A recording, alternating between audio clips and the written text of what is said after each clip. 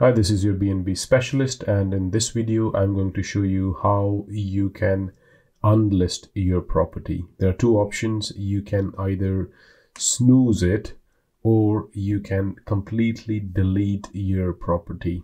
Let me show you how to do that. The best way to do these kind of things is, is use your computer and then you will need to type airbnb.com forward slash hosting.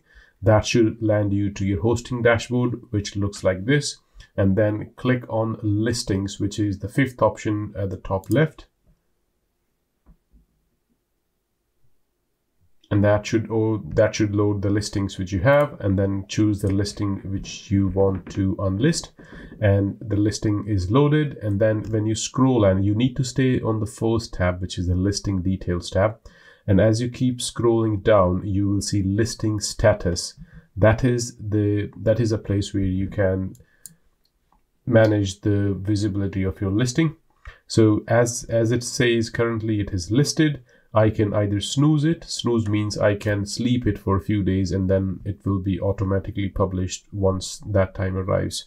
Or I can unlist it. Unlist is it will stay unlisted until I go back and publish it again. Uh, and the last option is deactivate. Deactivation is permanent deletion. You will not be able to recover your listing.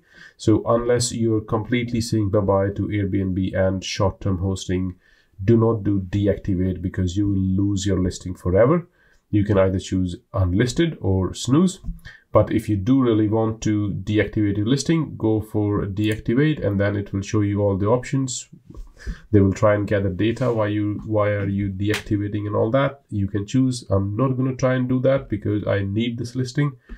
But that is how you can deactivate or unlist your property on airbnb please note this option is not available unless you have published your listing once so if if you're at that stage where you're yet to publish the listing you will need to publish it to be able to access this. There is no other way to delete a listing until it is published.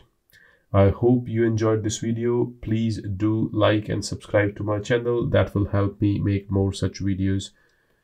Bye-bye.